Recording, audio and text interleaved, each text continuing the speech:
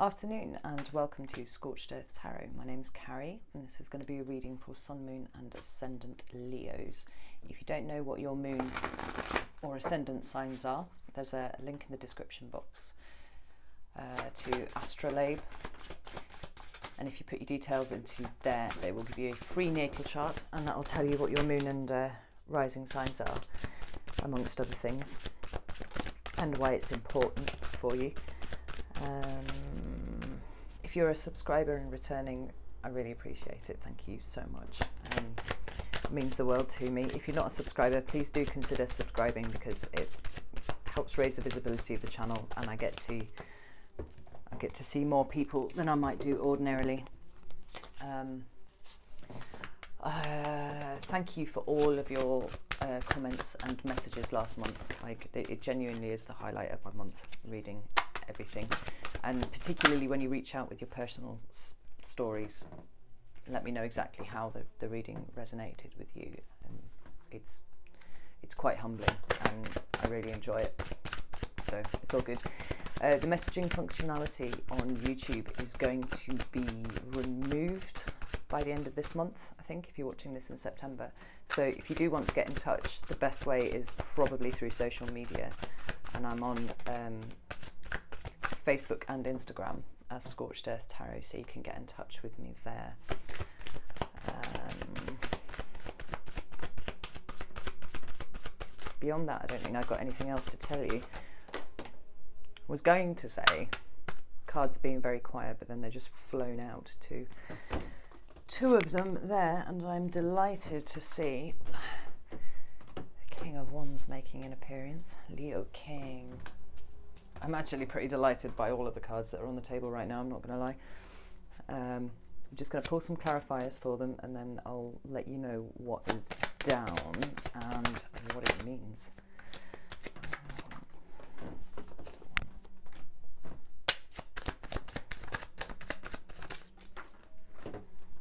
Wow. Yeah, I'm really loving this. Excellent. I hope you had a, a good August and that you enjoyed your birthdays. I had an amazing birthday. So I'm Leo also. My children absolutely spoilt me rotten and even my daughter yeeting a cardboard box into the TV and smashing it um, didn't spoil my day. It was lovely.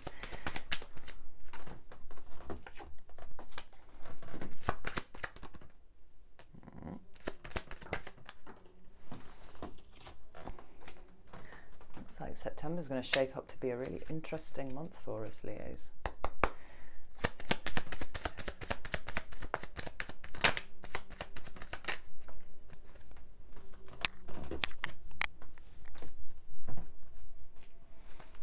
Right. I'm loving this. So, the three main cards that I've pulled, or that I've jumped, more accurately, I guess, are the Wheel of Fortune. Love to see that. The King of Wands, right in the centre, that's Leo energy, fixed fire. And the High Priestess. This card legit has been absolutely stalking me throughout August, so I'm not really surprised to see it there either. I'll go through the clarifiers as we go through the cards in turn, because I probably save time doing it that way. So,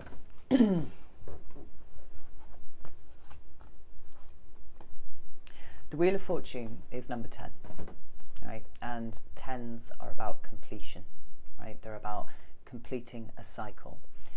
You, Leo, in some way or another,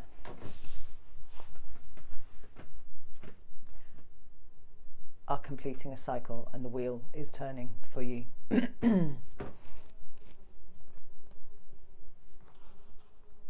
The message of the Wheel of Fortune is that the wheel is always turning, and sometimes you're on the upward tra trajectory, and sometimes you're coming down. And the idea is you take the rough with the smooth, you learn the lessons from the downtime, and you enjoy the uptime without getting necessarily attached too much to either. But genuinely, this card only seems to ever appear for me to indicate an upward swing, and so I'm delighted to see it here. Because, as I've said before, Leos have had a really shitty time over the last few years, but I think it's been really important for us because we've learned a lot, like probably almost more than any other sign. I think the last few years have been really instrumental, really educational. We've learned about ourselves, we've learned we've learned to be ourselves in a way that perhaps we have never been at any other point in our life before. And certainly in the last couple of months, I've started to feel like there is um, a recognition of that fact really starting to come through, and the the, the uh, AFOGs, as my friend calls them, another opportunity for growth, uh, are starting to become further apart. They're spread out more they're not lasting as long. We're learning the lessons, we're picking them up, and we're moving on. And we're aligning ourselves with energy better than we have done. We've stopped fighting for the wrong things.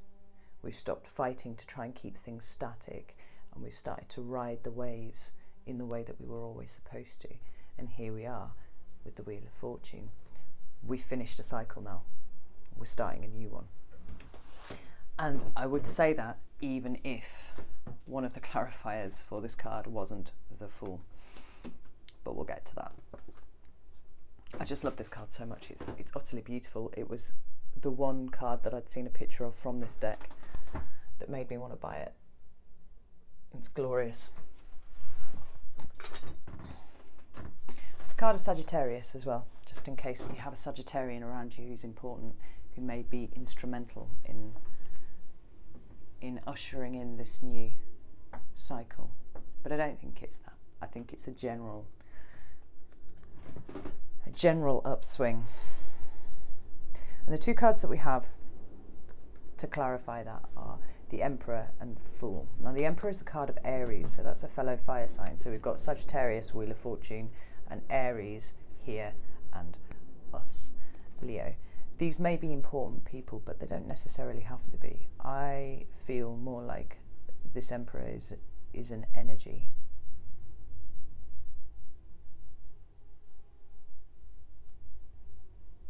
If we take these clarifiers, and I, as I'm saying it, I really feel like this is the case. If we take these clarifiers to be the underpinning foundation for the card above, the reason why the card above is here, then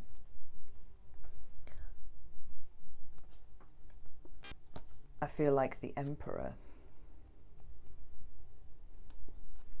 denotes our level of self control now. Not just self control, but control of our circumstances. As, as Leos, we get, for all we're a fire sign, we do get very attached to the status quo. We don't really like change that much because we're fixed signs. And I mean, the emperor's pretty static. Not gonna lie, he's on a stone throne, and and he's he's in armor, but he's got you know red garb all over the top. But there are big mountains behind him. And the emperor, in this sense, says to me, We have conquered a lot. These mountains behind us are the challenges that we've faced in the last few years. And we've conquered them all. We've come through and we've learned what we needed to learn and we're still moving forwards, and that's super important. But we're not trying to control everything. Right? We're riding the waves. We control what we need to, and that's probably, you know, really basic, boring stuff. But it's also ourselves. Like, we don't feel inclined to have huge, you know, leonine rages about things anymore we've grown up, we've matured. We've come a li- become a little bit more strategic.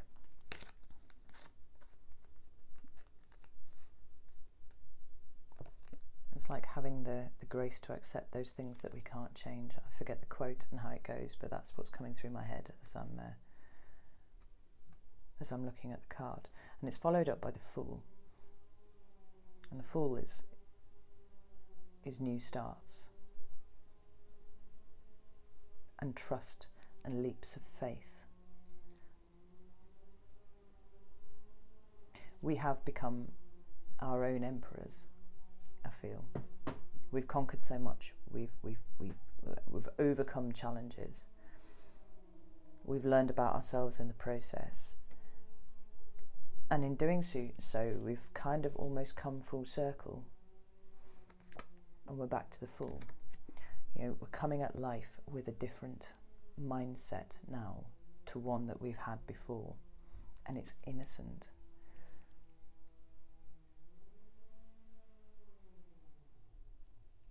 there's a lot of trust there because we've learned to trust ourselves, we've learned to trust our intuition, we've learned to trust our ability to overcome. And we've stopped being quite so frightened. And this is ushering in, you know, this this Jupiter fortune that is in the first card. And this is coming in September.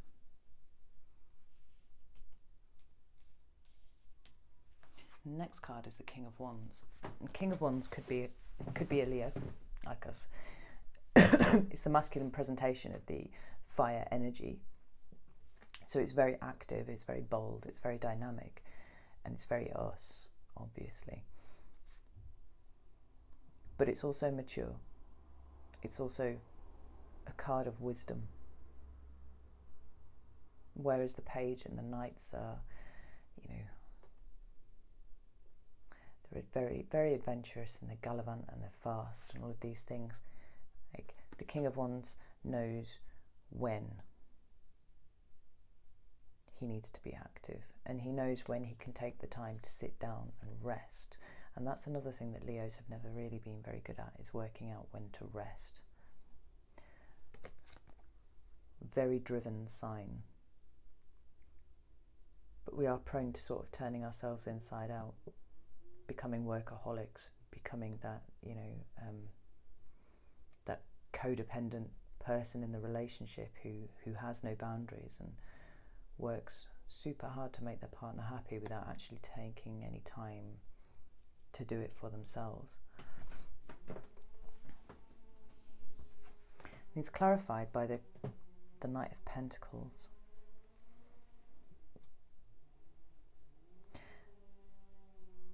And the Knight of Pentacles, I think, is the least dramatic knight on the in the deck. He's he's not fast. He's not dressed up in quite so much finery as the others. He's very slow and he's methodical and he's thorough. And I find it interesting that I've drawn I'm drawing a correlation now between the energies of these two court cards because the King of Wands is sat and knowing when to rest and knowing when to spring. And the Knight of Pentacles is about slowing down, doing things properly, seeing it from start to finish instead of kind of, you know, losing yourself in a big fiery explosion of excitement to start with and then tailing off because you've got distracted. You know, the Knight of Pentacles doesn't get distracted. The King of Wands really doesn't get distracted it's the benefit of experience for him. But there's a there's a new start being augured by the cards that we've looked at so far. And part of that is is the universe stepping in to acknowledge where you are, but part of that is the the energetic vibrations that Leos are now giving out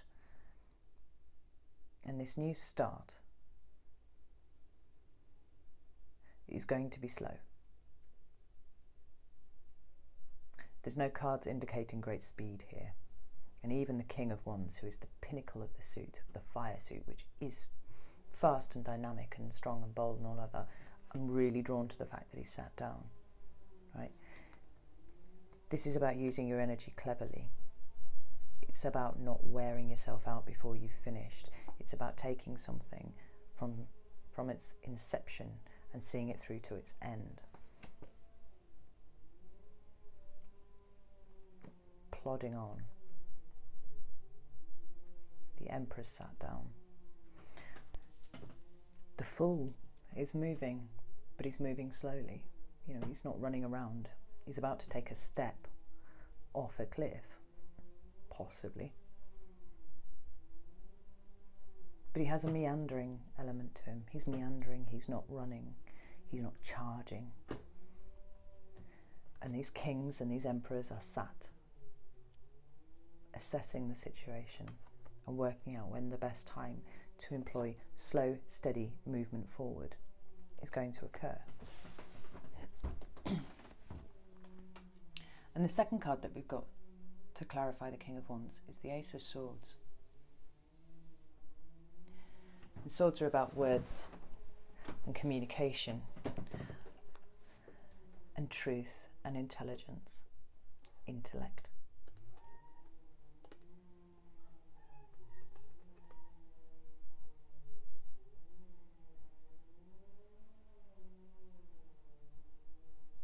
But for me, the Ace of Swords always indicates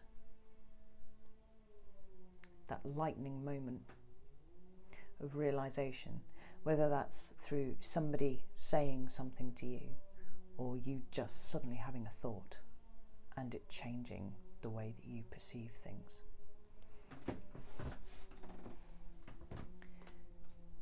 The Knight of Pentacles is moving towards the Ace of Swords. He's moving slowly, he's moving methodically, and he's got this, he's got that pentacle in his hands, which is very precious. And he's bringing it to the Ace of Swords.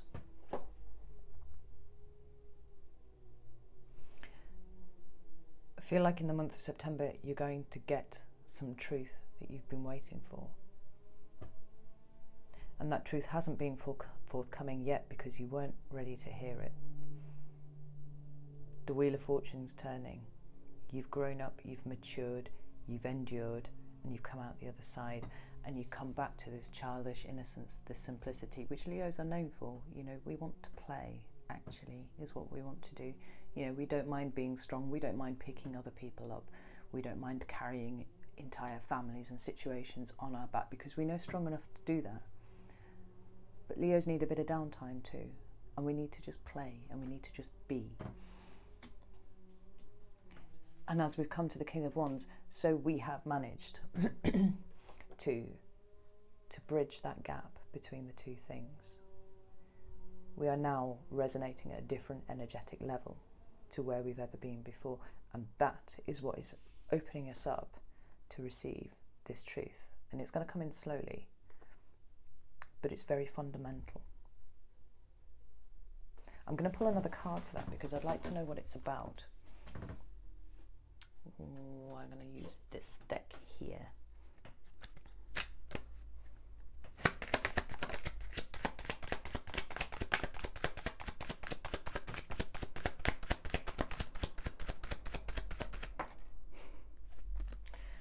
That would be the one.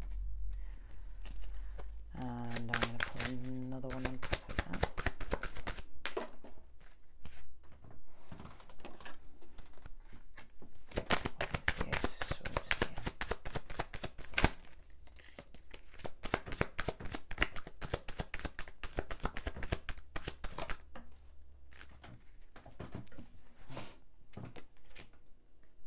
Okay. I, smirked because the shadow card at the bottom of this deck is now the Nine of Cups, and the shadow card on the bottom of this deck is the Nine of Cups. Before I go any further, the shadow card on this deck is the Page of Swords.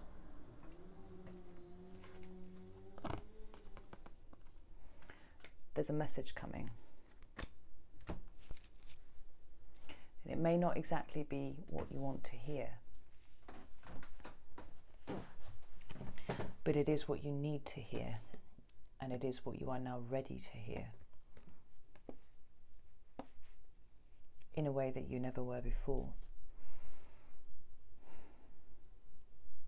And the three cards that I've pulled here to clarify the Ace of Swords are the Queen of Pentacles, the Four of Cups, and the Ten of Cups. Queen of Pentacles is the feminine embodiment of earth energy. So it could be someone who embodies the energy of um, Capricorn, Taurus, or Virgo. It could be that this person is who is going to be bringing this truth to you. Virgo, Taurus, Capricorn.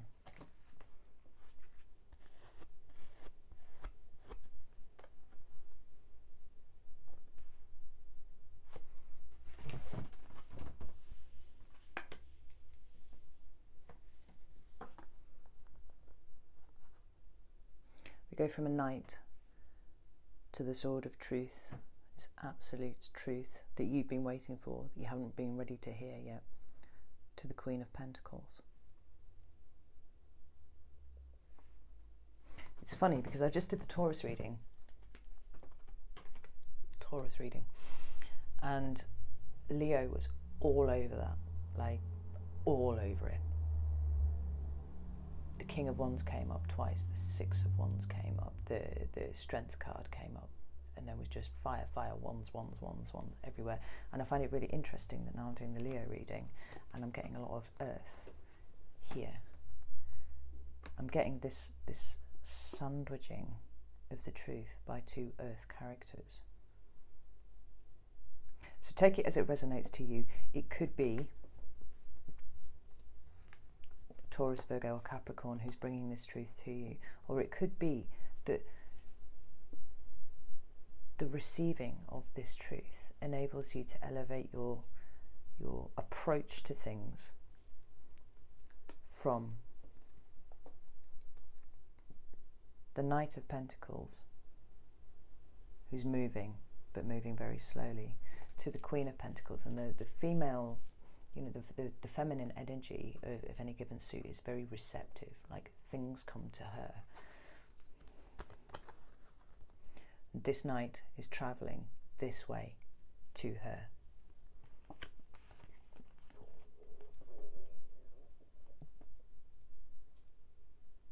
This woman knows how to make a home. She's very stable, she's very secure. I'm just noticing that on her throne, for no reason whatsoever, is a goat. Goat head there. Is it a goat? We've got a ram head here. Like horned creatures.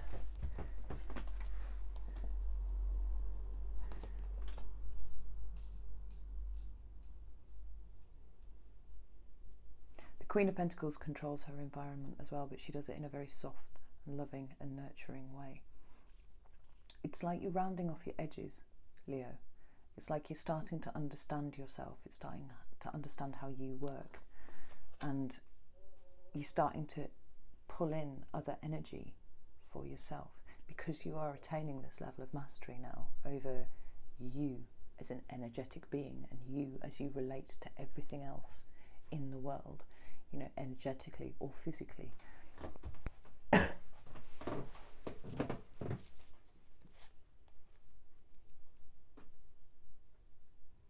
You're starting to understand what you want.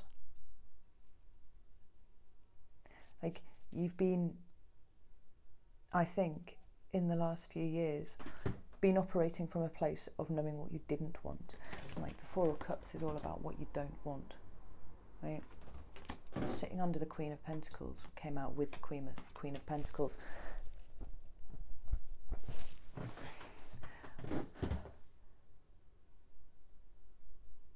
You're starting to harness the laws of attraction and make them work for yourself. You know what you don't want. You've always known what you don't want. That's easy. What you're starting to get a handle on now is what you do want and what that looks like to you. And you're putting yourself into a position where you are able to nurture that into existence. You've realized that the power of the lion is not not running after zebra and tearing out their throats. It's about energy management. It's about riding the wave. It's about knowing when you've got the energy to do something, when that spike hits, getting things done and pulling them off. But you're also taking care of yourself. You understand how you work now. You understand that you need to employ a level of self care. You need to you need to have a comfortable home environment for yourself. And slowly and steadily, you're pulling that into play too. Like there's a work life balance here. But it's a bit more it's a bit more profound than just going to work, doing your shift, coming home and spending the correct amount of time with your children. It's it's bigger than that. It's like you're starting to understand your purpose. You're starting to understand why you exist in the form that you do and why you've had to go through the trials and tribulations that you have because you, they've brought you here to this point. And this point feels energetically very strong, shimmery almost. it brings us to our final card, which is the priestess, the high priestess in a standard deck. It's number two. She's a very passive card, the high priestess. She's all about intuition and knowing. I'm sure you pulled priestess last month as well. And like I said, this card's been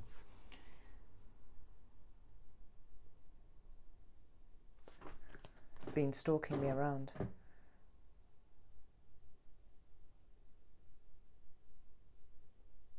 She holds all the knowledge. She's emotionally very balanced. But she doesn't give out too much. Like, you know what needs to be said and you know what doesn't need to be said. You're very strongly guided by your intuition.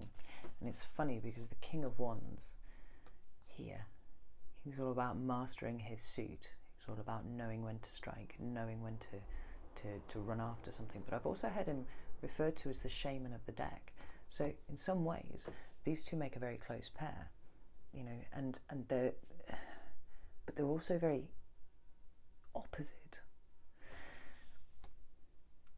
the King of Wands is bold and dynamic and he likes to get his hands dirty and he gets into the middle of everything when it is appropriate for him to do so. The, the priestess is all about the internal world. She's all about the knowing and the feeling and all of these things. Like they balance each other out really, really well. and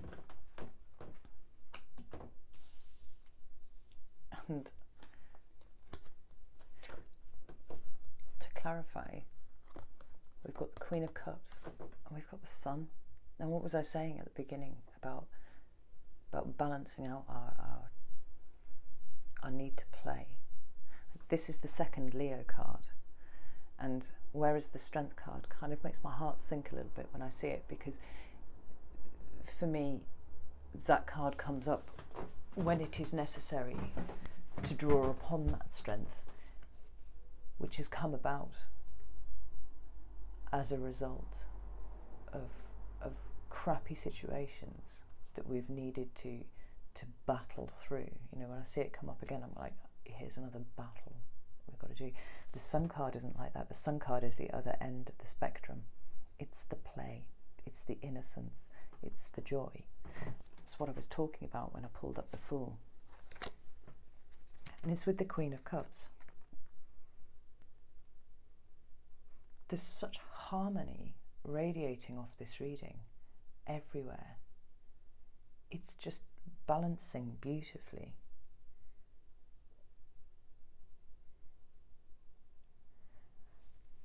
I think you've lost your fear of being vulnerable, Leo.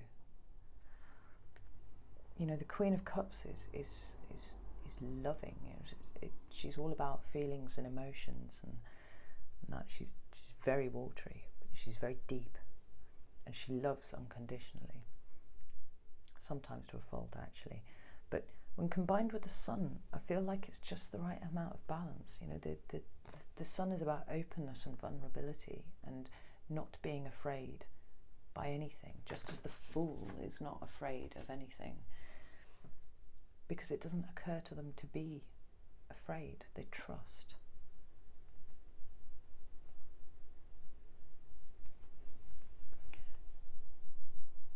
Whatever boundaries and things you've had to put in place, you've done it lovingly. But the walls that you built to keep people out are coming down. You're not you're not using those anymore. Your heart is open and you're ready to play.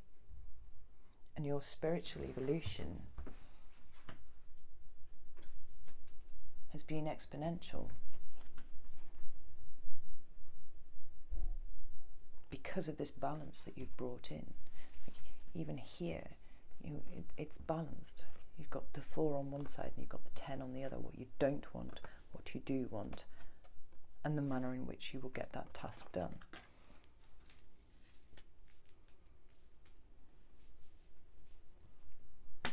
This truth that's coming out, this message that will be delivered to you, is just going to further increase your ability to reproduce this harmony wherever you go. You know, even the Emperor and the Fool are in some ways at opposite ends of the spectrum, but creating balance nonetheless.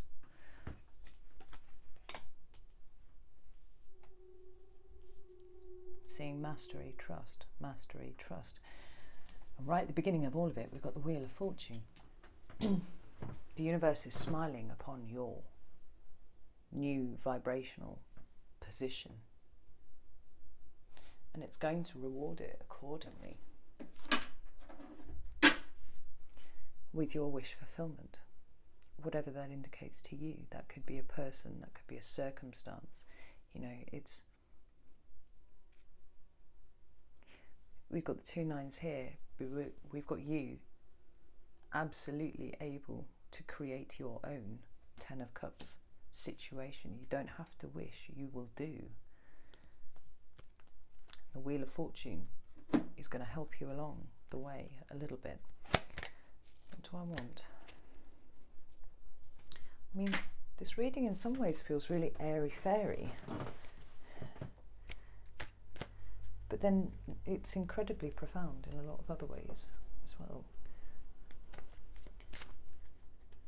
Like Leo has grown up.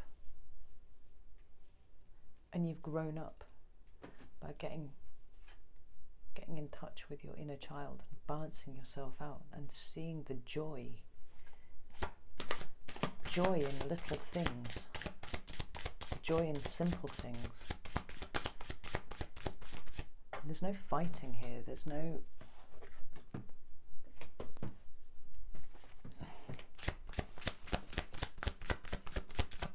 There's no sense of Leo now fighting against the universe. There's no fear of, of, of things changing here. It's it's about continual balance for the Leo now. Wait.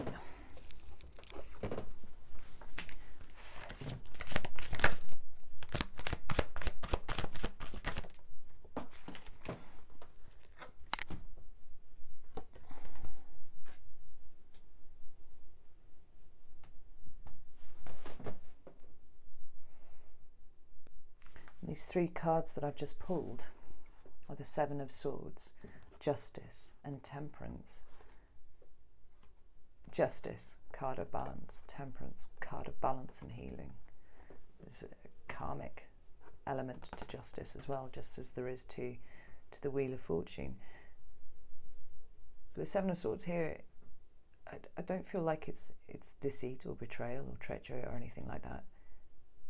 I think it indicates risk, but more than that, it, indica- it indicates that there is a lack of risk now.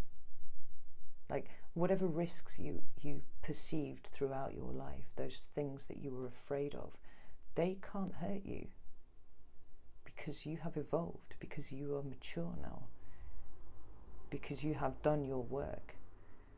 You've done the karmic work that you were here to do. You've paid off your debts and it's time to go up now.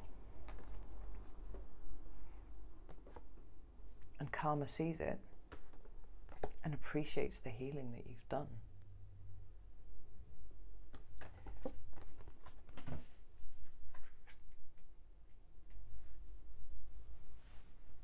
It's possible that the truth here, the truth that you're, you're looking for, is just simply in September your own acknowledgement of where you are and how much your life has changed for the better at your own hand by doing the hard work and by looking for the balance everywhere. Like this, this is so balanced, it's so harmonious, and it's so much more than you're going to meet a tall, dark, handsome stranger. Like this, that's bullshit. This is important. This is really important. The Wheel of Fortune is, by definition, balanced. It has to be balanced to turn. It's there. The priestess and the king of wands balance each other out. The emperor and the fool balance each other out. The queen of cups and the sun balance each other out. Justice, balance. Temperance, balance. It's beautiful.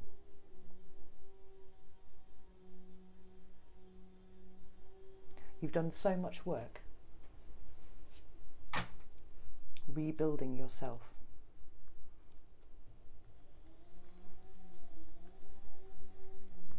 September's going to be an important month, but it might not be a month where anything really happens. Not yet, but it's starting.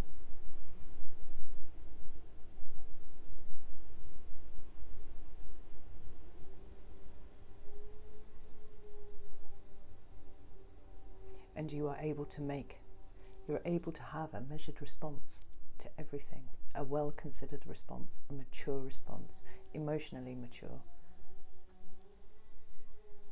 but also childlike and innocent and pure. You, you've sloughed off all the muck and the crap that has been following you around for your entire life.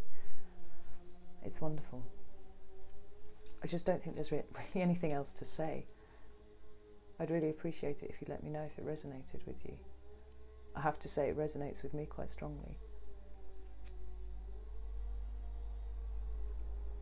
But other than that, I will see you next month.